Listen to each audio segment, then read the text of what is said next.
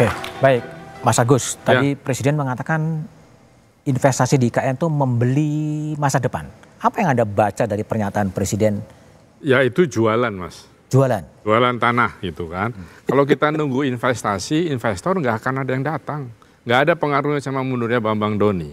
Karena ini kan masih green field atau saya bilangnya brown field karena coklat tanahnya. Jadi uh, nggak ada investor akan naik kecuali infrastruktur sudah jadi. Dan yang untuk bangun infrastruktur harus APBN. Karena investor tinggal lihat, oh ya oke, okay. kan investor bikin hotel mau berapa orang mau datang ke situ, rumah sakit, sekolah, pasar dan sebagainya. Jadi ya membeli, ini memasarkan, ini beli tanah sekarang. Tapi apa iya akan jadi? Itu kan pertanyaan kita semua. Apa iya akan jadi? Iya. Menurut ya, Anda? Ya nanti kan pergantian pemerintahan apa iya? Hmm. Presiden yang baru akan Meneruskan. ada di sana. Apakah misalnya uh, perwakilan negara-negara sahabat akan pindah? Uang di sini udah beli uangnya mahal di Kuningan, di Sudirman gitu. Jadi itu pertanyaan-pertanyaan yang meragukan orang. Mau beli sekarang, kayak beli apartemen belum topping off, kan nggak tahu kita jadi apa enggak. Hmm. Jadi artinya kepastian itu jadi belum muncul. Oke, baik. Mas Herman, sebagai anggota DPR, apa yang Anda baca? Ini kan pasca pengundurannya Mas Bambang dan Mas Doni, kemudian Presiden di IKN langsung mengatakan, datang ke IKN dan mengatakan ini adalah membeli masa depan dan lain sebagainya. Yang dibaca memang gigihnya Presiden untuk mengundang investasi masuk atau seperti apa? Ya, tentu membuka sebuah kota baru gitu ya, apalagi ini menjadi ibu kota negara. Ini pasti akan menjadi uh, pembangkit kegiatan ekonomi yang baru oleh karenanya saya kira ya memang tidak dalam jangka pendek, pasti ke depan ini kan akan berkembang. Yang kedua, kalau melihat apa yang menjadi prospek masa depan ya karena sudah ditunjukkan juga dengan apa yang sekarang telah dikerjakan. Misalkan untuk infrastruktur e, istana, di situ kan sudah 60% lebih gitu ya. Kemudian untuk 12 tower, untuk pegawai di situ sudah ada.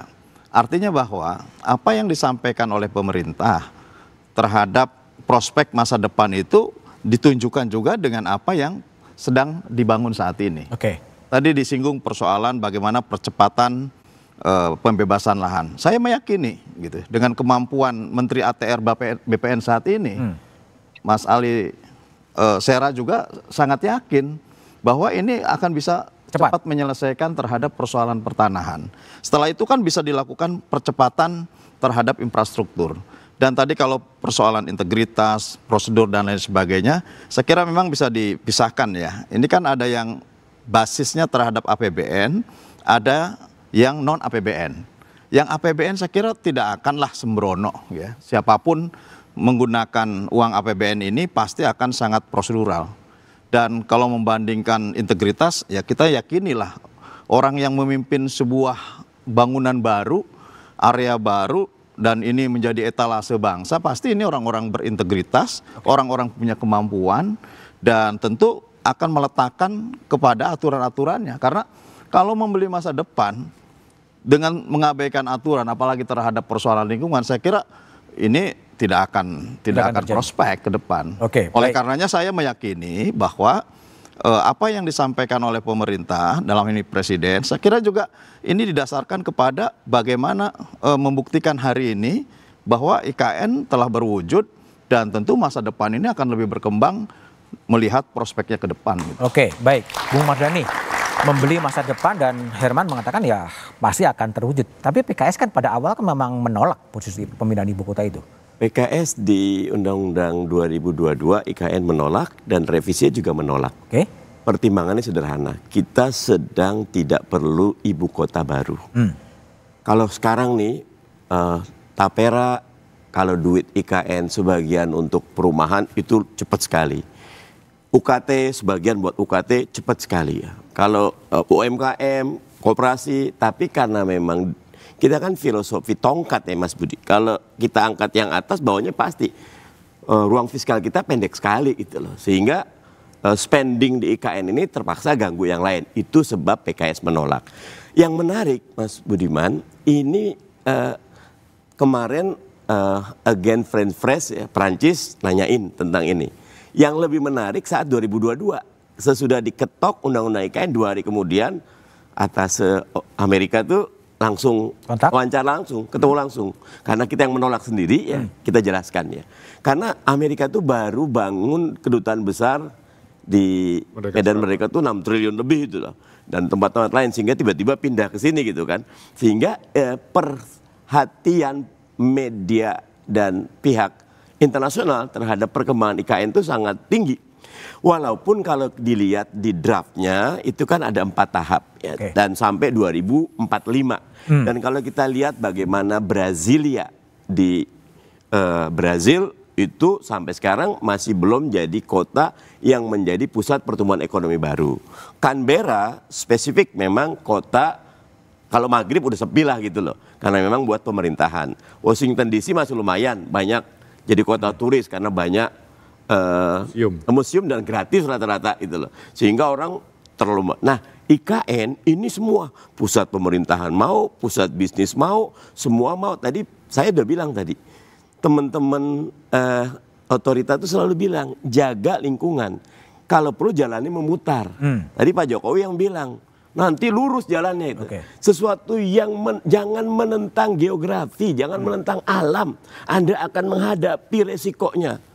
Mas Agus tadi udah bilang bagaimana beberapa bandara am- eh, Turun. agak turun gitu dan costnya jadi besar. Kalau dari awal saya suka mengatakan ini proyek Roro Jonggrang berbahaya gitu. Oke baik, Bung Wandi, eh, sehari setelah kemudian eh, Mas Bambang dan eh, Doni kemudian mundur, Presiden kemudian berkunjung ke IKN dan meyakinkan lagi ya bahwa membeli IKN apa investasi IKN itu adalah membeli masa depan. Memang ada kekhawatiran dampak dari mundurnya Mas Bambang dan Doni. Ya kalau kekhawatiran itu kan persepsi yang bisa berkembang ya. Dan itu siapa yang mau melarang persepsi yang bisa berkembang itu. Tetapi kalau kunjungan presiden itu kan memang sejak awal 2024 eh, presiden selalu me, apa namanya menjadwalkan eh, secara hampir tiap bulan itu ke sana. Nah, kecuali ada event-event besar, kemarin kan kita ada apa WWF dan sebagainya. Jadi itu memang sudah terjadwalkan. Nah, depan juga nanti akan sering. Eh, bulan depan juga Juli akan Sana lagi. akan ke sana. Nah, jadi kira-kira sudah memang sudah komitmen presiden. Justru ini untuk menunjukkan keseriusan bahwa eh, ini dengan turunnya presiden bahwa ini memang akan dikerjakan dengan baik. Kira-kira seperti itu. Terlepas dari banyak tantangan yang kita hadapi, tetapi yang dibutuhkan memang koordinasi yang lebih baik. Eh, kan semuanya juga nggak ada yang sempurna, tetapi kita berupaya untuk menjadi eh, apa namanya proses pengelolaannya, pengerjaannya bisa lebih baik.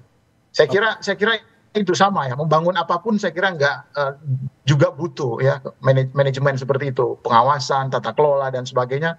Kita paham itu.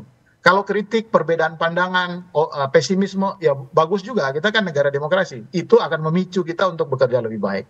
Saya Oke. kira saya melihat positif saja. semuanya. Positif. Terima kasih. Baik, baik Wandi. Ya. Bang Faisal, bagi Anda pernyataan pidato Presiden di IKN itu bagian mitigasi mengelola dampak yang terjadi setelah eh, Bambang dan apa Doni kemudian mundur. Sampai sebegitu eh menenangkan setidaknya. menenangkan. Ada gejolak di pasar, bahkan stok market aja hari ini turun 2% lebih gitu kan. Eh, rupiah juga melambat. Mungkin tidak ada hubungannya, tapi ya paralelnya begitu kan ada gejolak prospek investasi secara keseluruhan. Makanya kalau kita mau clear nih tentang ibu kota, ini ibu kota ini proyek ibu kota apa proyek properti? Hah? kan dasarnya undang-undang. Ya, Ibu kota. statusnya badan otoritas semua badan otoritas itu Pasti. profit motif bisnis gitu ini yang bikin gamang semua jadi kalau sekedar ibu kota saja upacara kemerdekaan 17 Agustus nggak harus selesai semua kan upacara aja gitu kan ini seolah-olah harus di apa gitu lebih banyak persoalan investasi daripada persoalan kebudayaan itu. Membangun museum membangun apa peradaban gitu-gitu. Eh, eh, harusnya gedung DPR dulu yang dibangun bukan istana. Karena Mardani nggak mau pindah ke sana. titik nolnya tuh gedung DPR harusnya. Sekarang istana gitu. Jadi ini apa proyek prop nah, awalnya kan bisnis to bisnis emang proyek bisnis kan Oke. kan tidak direvisi Nah kalau bisnis to bisnis kata Mas Agus tadi law of last number. Kalau penduduknya secuil ya investor mau disuruh apa pun tidak akan datang. Oke. Gitu. Jadi oleh karena itu kalau saya udah deh direvisi kembali ibu kota itu sebagai ibu kota pemerintahan dan pusat budaya karena kita ingin membangun budaya Indonesia jadi pusat uh, pencit pencetak uh, pemain sepak bola udah deh nggak usah. Kasih yang lain lah. Kasih Papua misalnya. Jadi ini proses penghisapan yang baru ibu kota kita ini lebih besar dari Jakarta kan mas? Ya ya kan? Ini mau pusat segala macam Jakarta kenapa tenggelam karena pusat segala macam itu. Oke, baik. Wandi, tampaknya Anda ingin merespon pertanyaan dari Bang Faisal Basri? Oh iya, saya kira uh, saya kira yang disampaikan Bang Faisal kan tentang uh, secara perspektif yang kritis ya. Uh, kita saya menghormati perspektif yang kritis uh, itu, tetapi saya kira dengan uh, adanya IKN ini justru untuk menurut saya untuk mengurangi beban Jakarta. Aglomerasi hmm. Jakarta ini kan sudah 35 juta kalau nggak salah ya. 35 juta jiwa. Nah, ini juga akan memunculkan pertanyaan sebetulnya tentang sebuah apa keberlanjutan ya. Nah, ini kalau kita tidak justru IKN ini justru salah satunya adalah itu. Selain membangun konsep smart forest itu. Nah, bahwa ada kritik dan sebagainya, saya kira itu bagus supaya kita juga terbuka kan. Saya orang yang sangat, kami orang yang sangat terbuka pada kritik supaya kita tidak menganggap bahwa ini baik-baik saja semuanya sehingga kita dengan demikian akan mengecek apakah di lapangan seperti itu apakah tanahnya seperti yang disampaikan Mas Agus.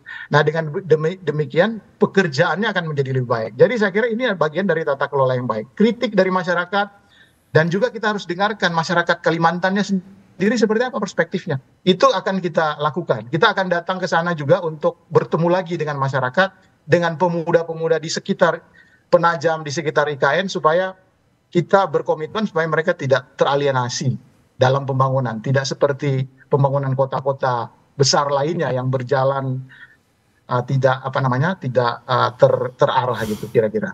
Oke, baik. Jadi Presiden Jokowi juga rencananya akan segera berkantor di IKN dan ASN akan dipindahkan secara bertahap, tapi sejauh mana kesiapannya setelah jeda berikut ini.